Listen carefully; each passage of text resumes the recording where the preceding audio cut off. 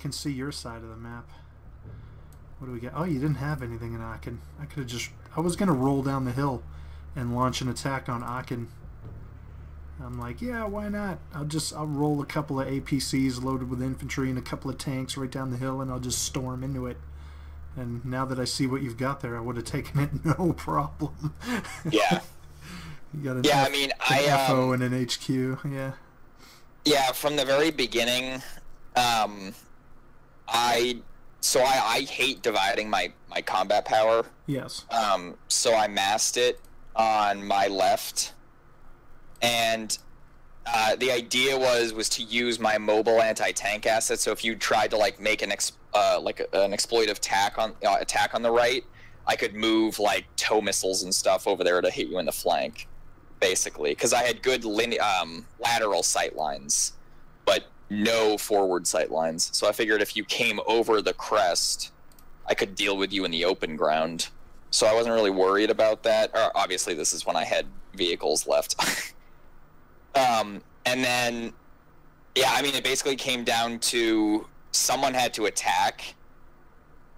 So I was prepping, uh, and I I chose the left there for an attack because it was like, I mean, it was it was the, I had the best possible sight lines available to the objective of anything because there was like from from where that javelin team was up in those buildings you could like just see over the lip and see the tops of the other buildings Yep. uh, like i was able to call in mortars and stuff from there so Yeah, because that's the guy that took out my tank behind the building too, isn't he?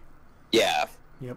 So, I mean, I I was really reluctant to attack because, as you can clearly see, n- none of my vehicle assets are, are vehicles that can attack. Like none of them.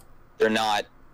The MGS Stryker is like not even an anti-tank asset, and the TOW missile vehicles are like a purely defensive, uh, like countermeasure essentially, because they're I mean, they're an APC and they can't fire or shoot or like nearly as fast as a tank can. So, um, the real like mistake I made there was um, I didn't I didn't properly employ the javelins to their like fullest extent.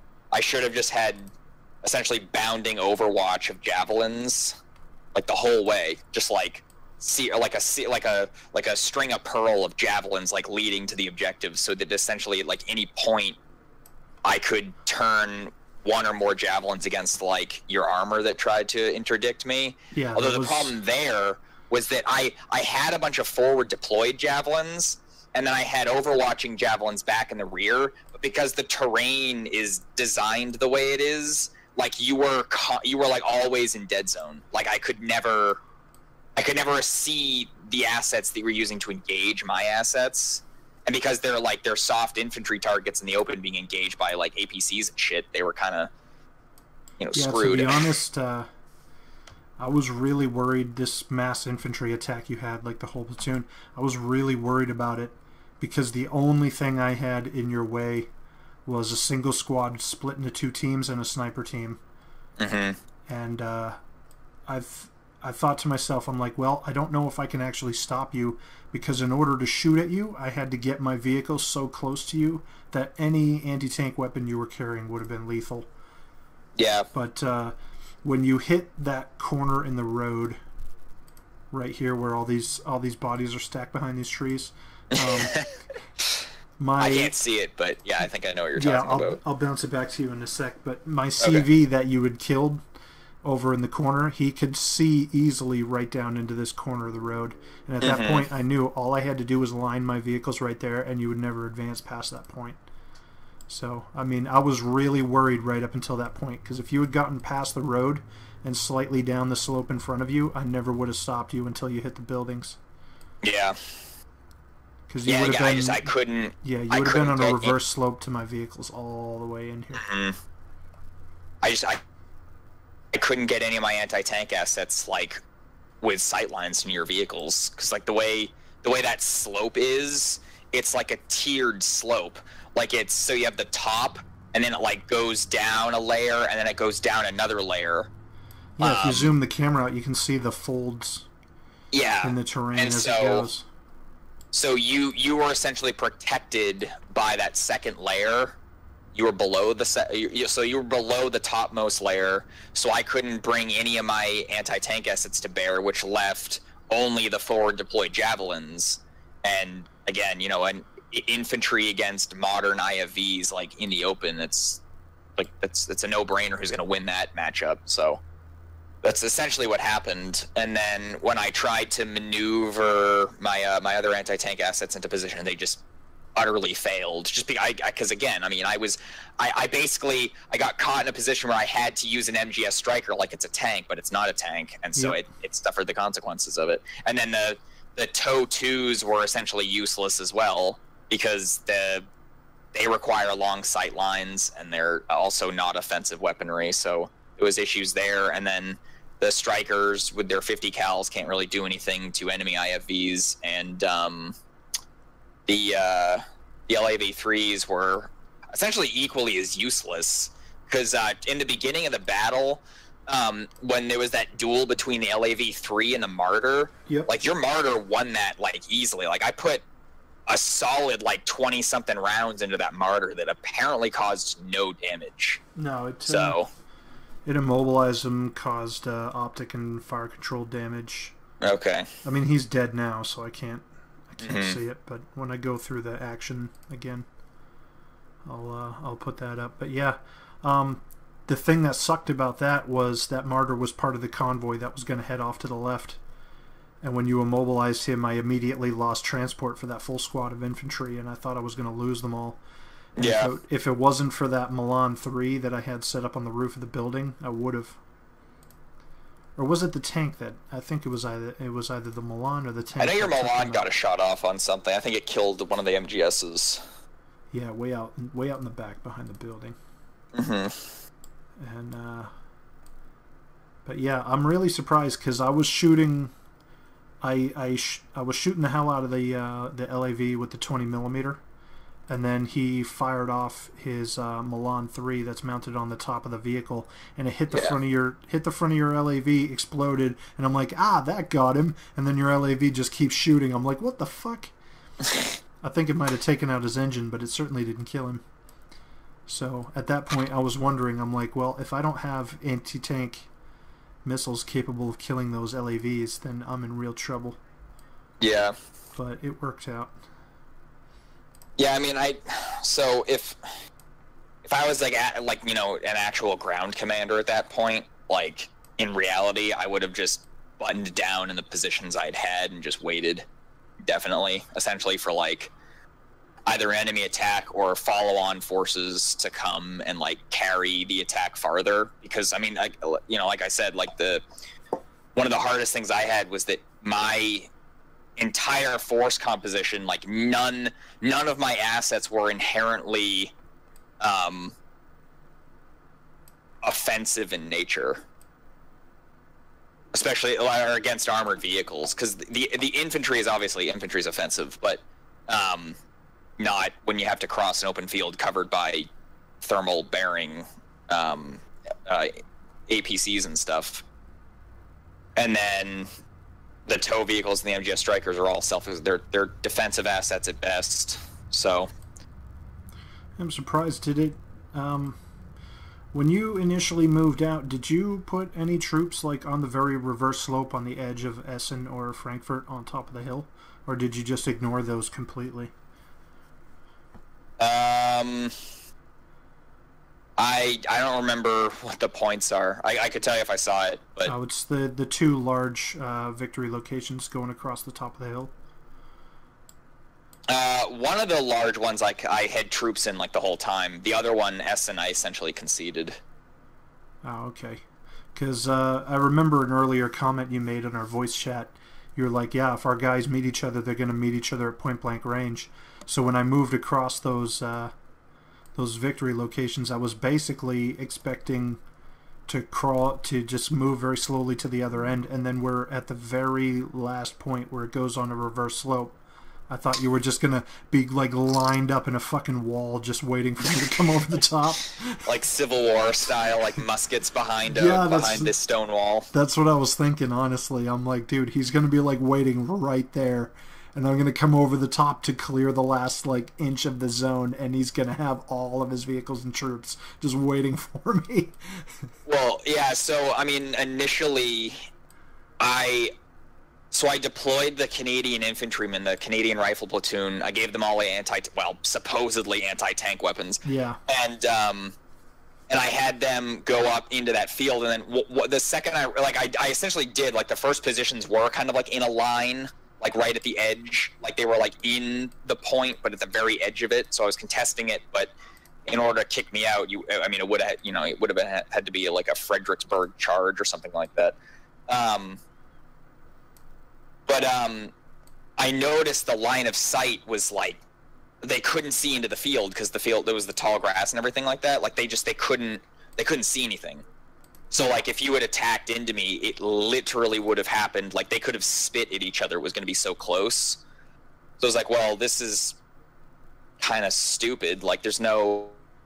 Oh, I mean, even if I won that defensive battle, like I mean, I would have taken such horrific just because it was such close range. Like the kinetics would have been atrocious for both sides. So I decided instead to have to split the squads into teams and have them like crawl out into the grass and just kind of form this like um uh like a picket essentially like a big screen like a fanned out screen in the the field and i figured if armored vehicles drove next to them because they're like lying down in the bottom of these like high reeds and stuff Yep. my infantry should see the armored vehicles first and then engage them at point blank range with anti-tank assets and if and if they were if my infantry were just like laying down and your infantry were like walking across them i would hopefully get you know first rounds off on a lot of them. Yeah. um it so as far as like the infantry engagement went it kind of like went both ways. Uh, a few of my teams actually got caught moving when you engaged them. Yeah, at the very beginning of that skirmish, I did notice there was uh, some of your guys standing up, some of my guys standing up, hmm and uh, that was kind of the initial initial spat. I think it was these two headquarters team. Yeah, and then um, and then from there, it, it came down entirely to the fact that the AT weapons failed. Yeah, I couldn't kill any of your armored vehicles that were like moving among, and then your armored vehicles just mopped up the infantry. They caused like most of the casualties there.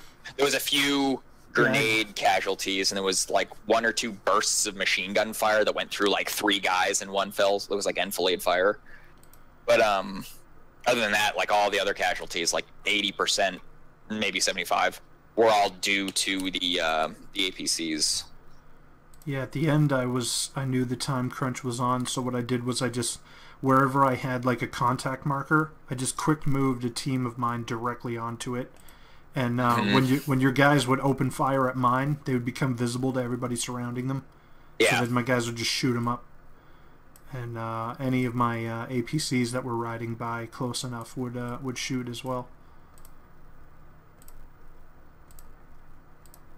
But I mean, uh, I basically just threw my guys at you at the end just to make sure I could clear the zone in time, because otherwise I still would have been stuck in the grass trying to trying to pinpoint you. Mm-hmm. So I mean, it's a bit callous, but it did work. So I'll take it. Died for the greater glory of our victory or whatnot. Ah, yes. The Netherlands are now completely safe. yes, we've defeated the invading American hordes. All right. Um, yeah. Let me. Uh, I'll bounce this over to you so you can see it.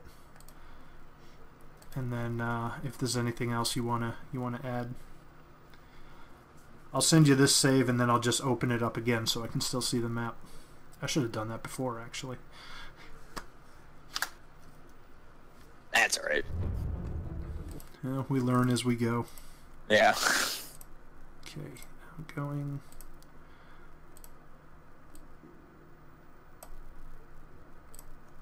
Alright, that's uploading.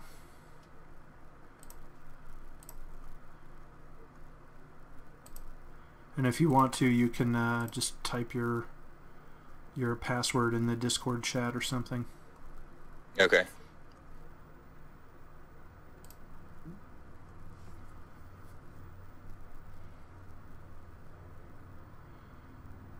Because uh, once I once I cut this all together with our after action, I'm going to uh, I'll just I'm gonna look at like every single turn file and I'm just gonna pick out like all the most like awesome action moments Mm-hmm. and uh, put them together in a montage.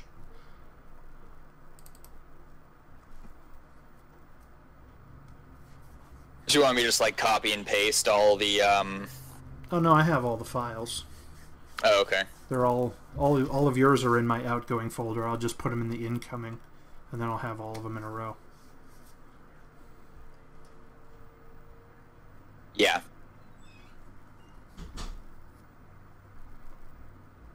Here, I'll send it to you over uh on Steam. That's it. Alrighty.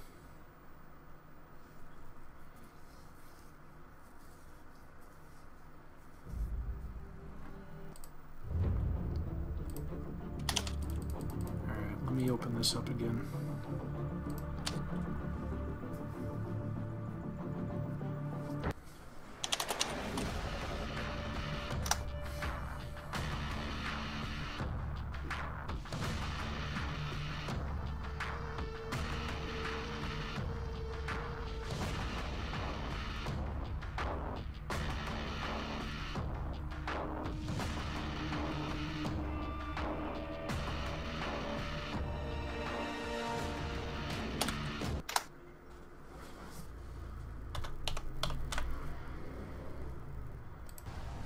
Whoever that platoon HQ over there is, uh, give him a medal. Distinguished Service Cross. Yeah.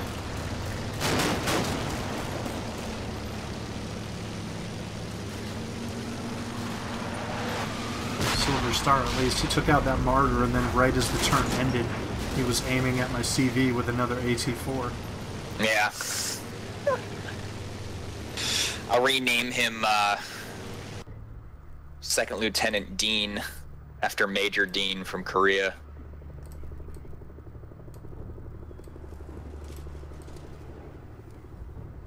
Or not Major, Jesus. Um, Lieutenant General. Oh, it's the radio operator. That's who's doing it. Major General. No, it was yeah, it was Major General. All right. Let's see. Oh, look. Ah, you had a machine gun over here.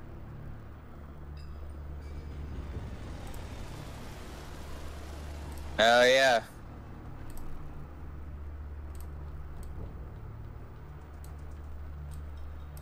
It was the platoon sergeant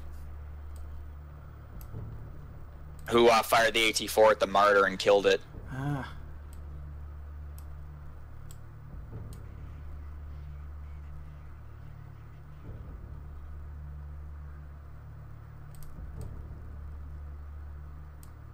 And then the RTO was the guy who was uh, aiming the second one.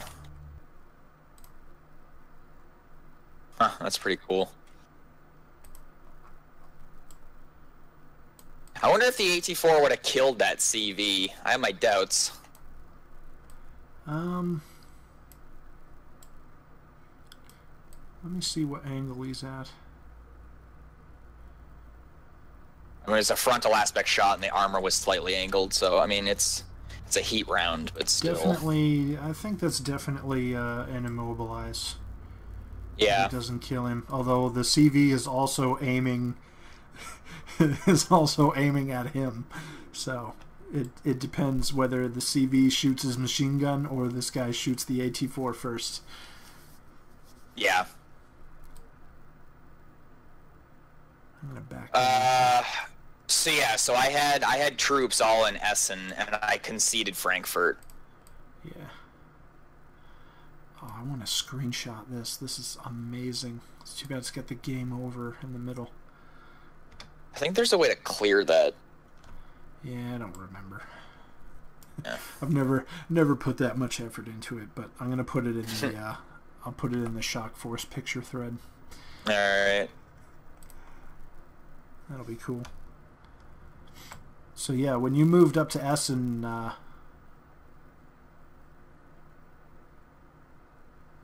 you said you had guys in the back edge of it. Was that like where the uh, Where this Basically where the road is. Oh, okay. Yeah, where that like where the orchard and the road meet, kind of right there, and they just they couldn't see anything. Yeah, So, st- staring at nothing but a wheat field. hmm But uh, you did get most of your guys in because the only thing I saw was that one team, and that was the only thing that really clued me off that you had uh, infantry in the wheat field here. I mean, I also got the entire platoon killed. So yeah. Well, I mean, I'm fairly certain I outnumbered you over here, especially when I took. I had uh, two squads and two tanks in Frankfurt that were going to assault down the hill into Aachen. And I was like, no, I just I pulled them out, reversed, came back right over into Essen, and they just stormed right through it. yeah, yeah. Like I said, it was the uh, it was the armored vehicles that uh, caused most of the casualties there.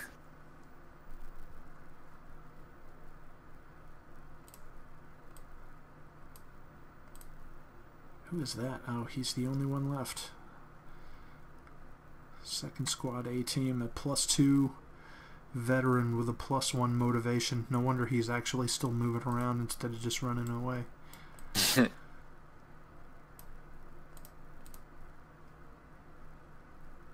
this full squad survived.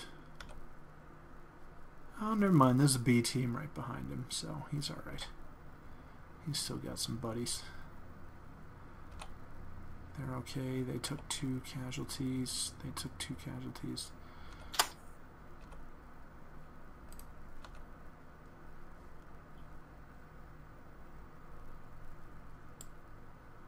Second platoon HQ was wiped out completely.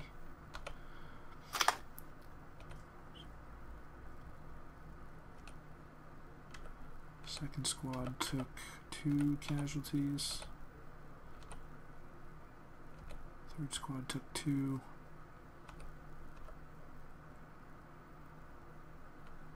They took two more. Yeah, to be honest, casualties were just heavy on both sides, especially with how small the forces were. I mean, yeah, my my force was like literally annihilated.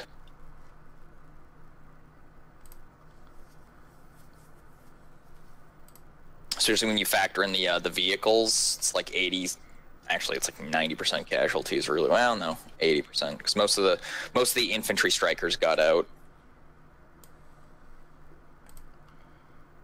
The Canadians bore the brunt of it. I mean, they there's Yeah, like with- none of them left. With the LAVs, yeah. That is true. I'm looking and I see. Oh, you actually had a company HQ. You lucky dog. I didn't. I mean, it was kind of useless. Yeah, but it gives that overall command bonus. Mm hmm. But yeah.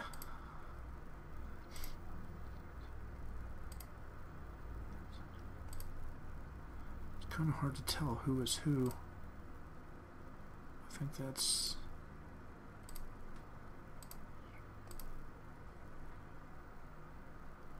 I don't know. I, I don't remember how to read the shock force uh, icons on the uh, on the interface. It's like I know that's Stryker. I think that's think that's your Canadian what are they, mech mech infantry? Uh, let me look. Yeah, they were mechanized infantry.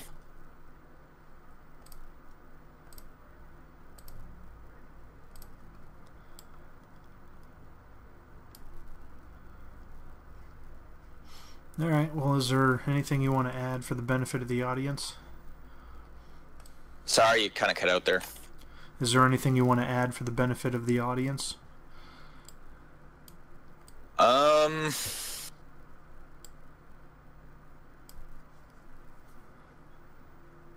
Hmm.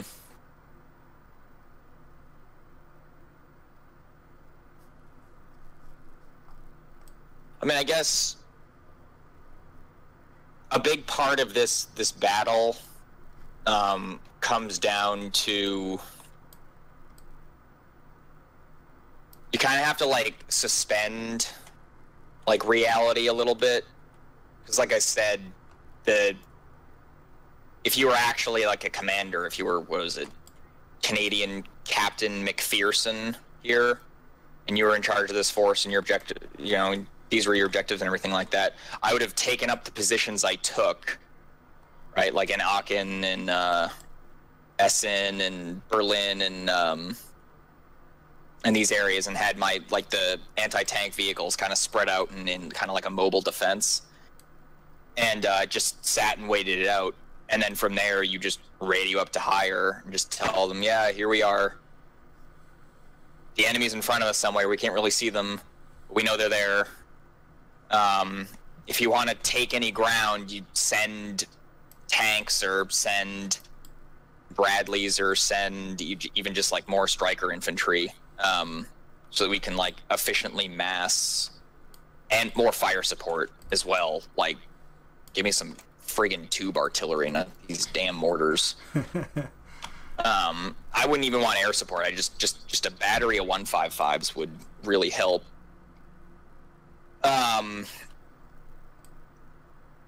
Yeah, I mean, so so yeah, I mean, realistically, you with the force you're given in this battle, you would just you you take the ground that you were able to take quickly, and then you just dig in and button down. And if the enemy wants to try to attack you, you like let them make that mistake, and you attrit their forces horribly because their sight lines are like the sight lines for attacking are so atrocious that Yeah. unless you have like overwhelming firepower, uh, like a bunch of tanks, basically, there's no way you can adequately cover your forces uh, with the assets, or at least on my side of the fence here, with the assets even, I had. Even from the back of your end, uh, like if you had parked your ATGMs way in the back, uh, they still can't see into the uh, into the hill victory zones until you get right to the very front of it. Right. Yes. There's no there's no way to effectively contest um, Essen and Frankfurt without being at point blank range with any of the at whether it's infantry or AT or whatever. So those you have to just kind of like accept the fact that if the enemy attacks those, it's going to be a knife fight. You just kind of have to you know dig deep. it's Um, the same. It's the same from my side actually. yeah, I know it I'm- I'm down here on the ground looking up, and all you can see is the very edge. So yeah, it looks like the key to this map is get into Frankfurt or Essen as fast as you can. Because if Yeah, you I don't mean- if you don't get in there early enough, you're never going to get in. Right. Yeah. I mean, you have to you have to get up close enough to like get a toe hold, but you can't you can't go over the ridge because once you go over the ridge, you're like in massive open sight lines for like the entire enemy's force because it's literally just a downslope. Um, it's it's at the top where all the funky LOS things happen, where it's like kind of like the plateau of the road and like the high grass and the walls and stuff like that. So it does it kind it forces like it forces a knife fight essentially at the very top Yep. which is the only like little it's like a what like a 30 to 50 meter like los barrier you come in contact with Yeah, at least in Essen, Frankfurt was open, which is why I sent more forces through there because I didn't want you to, I didn't want you to catch me while I was in there. mm-hmm. But one thing I was nervous about when this battle first started was I uh, I deployed in uh, Dresden and Cologne, and uh, I didn't move immediately on the top of the hill until it real I realized like that was a mistake, because if you had gone straight from your deployment zone right up into Essen and Frankfurt without stopping anywhere else, you would have been in there waiting for me by the time I arrived. And uh, that kind of scared me a little bit, and that's when I'm like, okay. And I just started picking up like everything I had available, and just chucking it into Essen and Frankfurt as fast as Yeah. I could. if i were uh, you now knowing doing some uh, some hindsight of coca um or ocockle as some people call it yeah, Um, yeah, so like I said, if, if I were you, knowing what you had to work with, like from the get go, I probably just would have sent my tanks over the top at Frankfurt and just gone for like total shock effect. With like a light infantry reconnaissance screen up at the top, as far up as there as I could get them. Because you can get, you can actually get a Um. decent. If if you're looking from your perspective, so what is that? Looking uh, west, yep, you come up kind of on the left side of Frankfurt, it kind of it plateaus up here.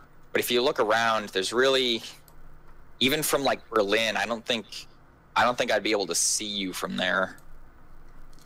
From Even Berlin, the- no, but if you had a javelin team sitting in, in the upper floor of Aachen, Mm-hmm. you would have just you would have murdered me on the way up if I didn't have infantry there to spot.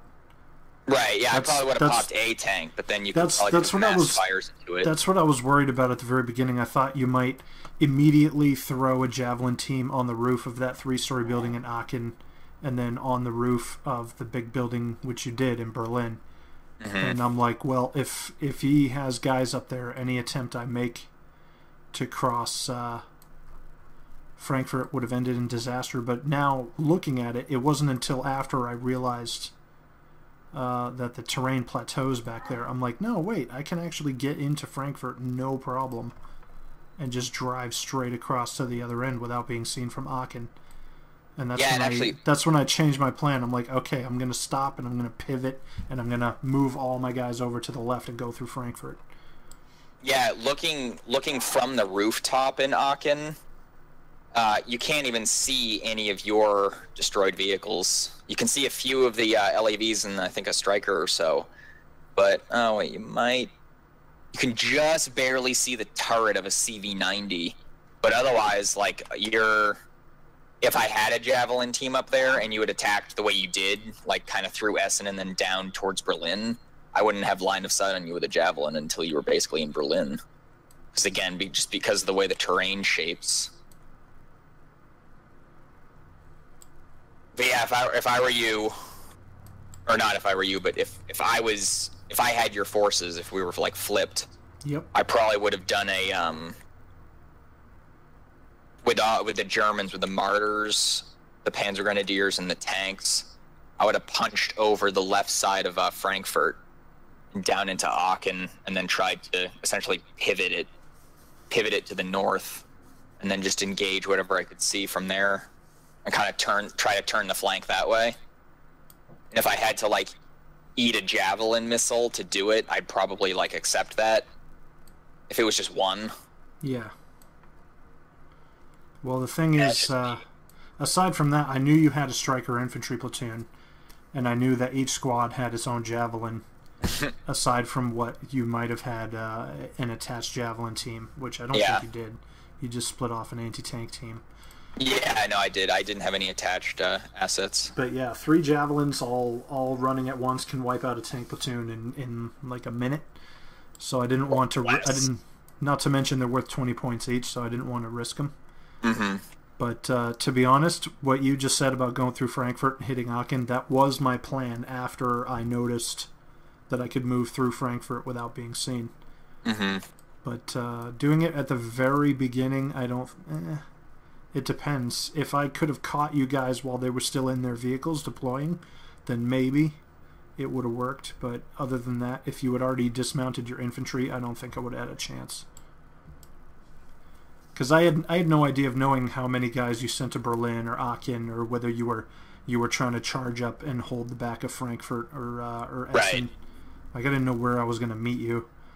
And you could probably uh, uh, might have assumed, especially from like the brief, because the, briefing essentially says that it's a rather like the forces are somewhat symmetrical. Yeah. so when well, you saw you had the briefing, tanks, you it- probably assumed that I had tanks. No, I mean it lists both friendly and enemy forces in the briefing. You can see Yeah. everything they have. Oh, everything? Yeah. Click on click on the briefing. You can see enemy Oh, forces and it and it lists everything, and then friendly forces it lists everything.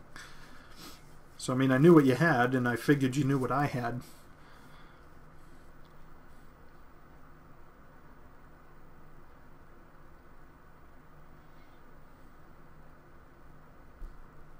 Yeah, the only thing that really caught me off guard was the uh, the leopards.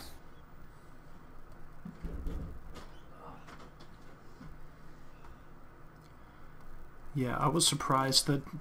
I mean, it says yeah we gave you two A4s instead of two A6s, which is fine. But I figured the counterbalance to the leopards would have been the the LAV three TUAs and the the Stryker MGSs. But to be honest, they didn't really do that well. I mean, no, the the LAV Three with the TOWs didn't kill anything. Yeah. I like yeah, like I said, none of the Canadian anti-tank assets killed anything. Uh, all the all the vehicle kills that I inflicted were was like one AT4 and like six javelins, I think, or five. Uh, yeah, I think so. I mean, I can go over them. Yeah, it was six. You lost six vehicles total, five armored vehicles and uh, one tank. So all of those were. It was so it was five javelins and one uh, that that one AT4 at the uh, the end there. Yeah. Because he was javelin, he was javelin. This tank was javelin. This CV over here burning was javelin. And this guy was a combination of several weapons. This other CV in the wheat field at Essen. Uh, he got hit with, I think, a couple of laws. He got He hit with something. two- got hit yeah, with something larger. I think the MGS Stryker managed to land around on him as well, and then the javelin finally finished him off. Yeah, the javelin finished him, but he took two law missiles like right to his right side, and it like did nothing. Yeah, I'm fairly certain these kind of bolt-on plate-looking things. I'm pretty sure that counts as spaced armor. I'm not sure though. Yeah, it's definitely armored well. because you can see to fr- uh, can see from the top how it's kind of like how it's kind of like ventilated. There's like that, Mhm. that grid looking thing there. yeah, Let me let me get the camera inside. Oh yeah, there's huge space. Actually, you put the camera inside, you can see where the tracks go through it. There's like Mhm. outer there's outer plates and then there's inner hull. yeah, So I think the laws just hit the outer plate and they didn't penetrate all the way through. Yeah. I think you're right.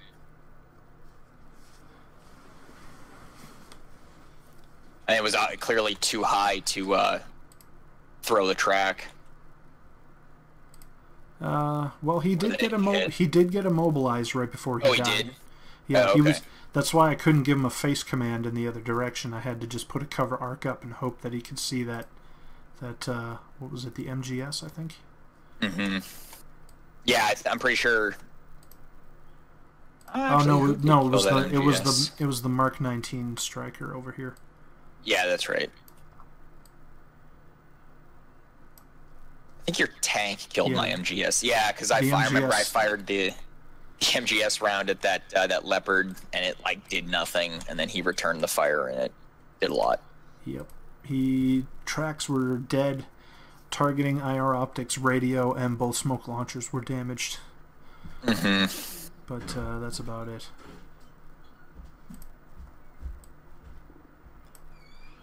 Alright, well, I got people moving around over here. Uh, is there anything else you, you want to add? What was that? Is there anything else you want to add for the Um, recording? No, I think that basically covers it. I mean, it was a good battle. It was it was fun. It was really tense. It was Oh, like a it definitely. was a knife fight essentially. Like two drunk, um, two drunk guys in a phone booth, I call it. Oh yeah, no, it, it definitely was. Because both both sides got nicked pretty good. One more than the other, obviously. Like I, I took a pounding, but uh, it was it was fun. Alrighty, well, I'll just cut this off here, and uh, we'll follow this up with a montage of sorts, and we'll see what happens there. Okay, bye.